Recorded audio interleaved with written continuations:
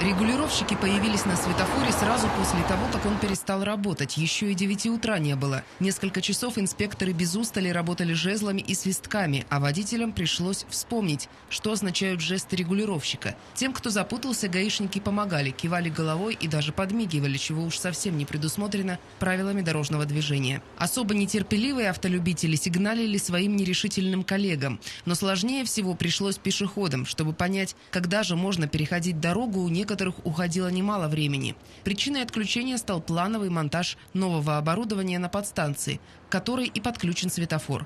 Больше таких ремонтных работ на этом участке специалисты пока не планируют.